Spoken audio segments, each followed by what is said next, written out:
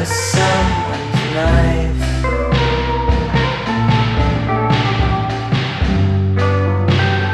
Doesn't mean that you're friend